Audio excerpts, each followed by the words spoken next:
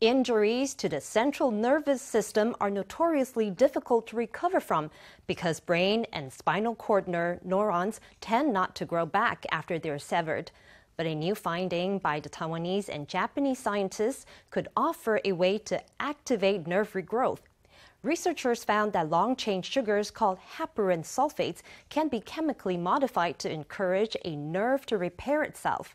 Their findings, published in the latest Nature Chemical Biology journal, hold up new hope for patients suffering from paralysis.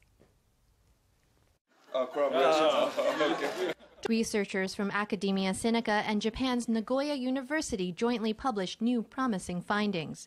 They discovered that synthetic heparan sulfates can initiate the nerve's repair mechanism after an injury to the central nervous system.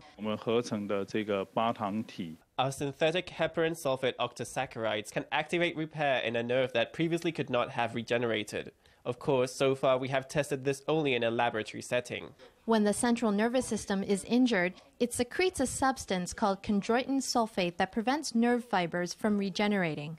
However, when the damaged nerve is placed in a petri dish with HS octasaccharides, the injured nerve fibers are able to grow. 那这一次这个团队执行的计划 the project that this team worked on was part of the Ministry of Science and Technology's academic research program. The research findings were published in the latest edition of Nature Chemical Biology.